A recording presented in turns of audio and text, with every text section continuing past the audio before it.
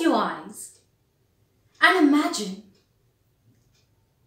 you are standing in front of a very huge, large sized mirror. You are all alone there. Anything that could be seen in that mirror is just you, just your own reflection. Look closely at your own reflection.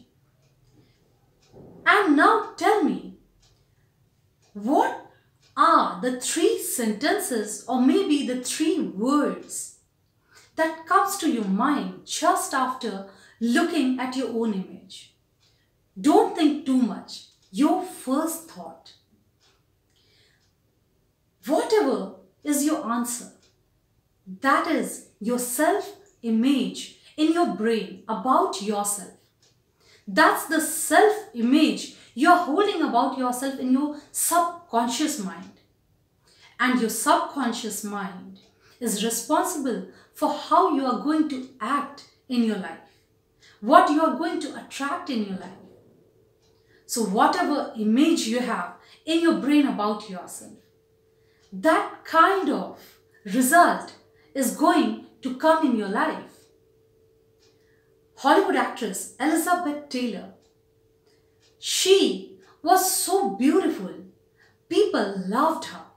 People loved watching her on television and screen.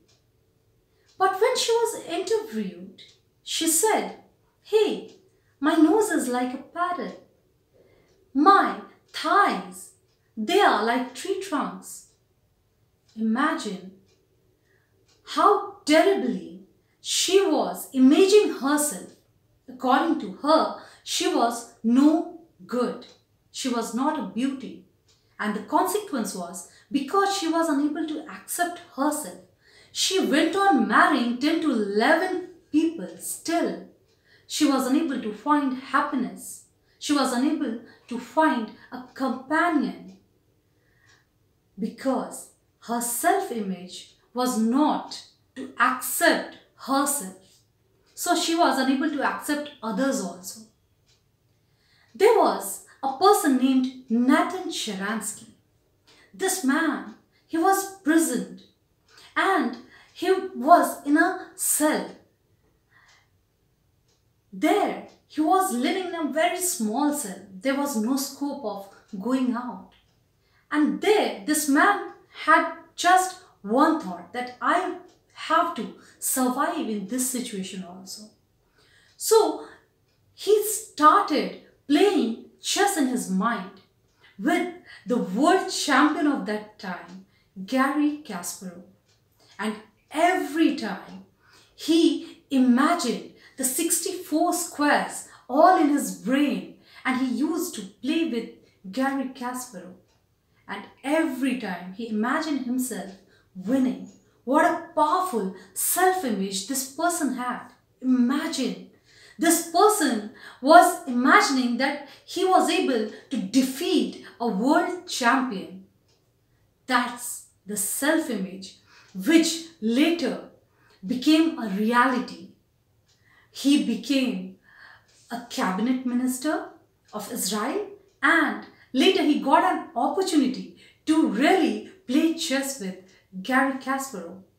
And as you can imagine, that he defeated Garry Kasparov just because of his self-belief, his self-image that yes, I can do it.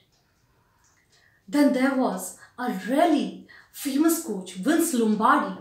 He said, whenever a person or a play is going to play, the player should always have this in mind that I'm going there to win.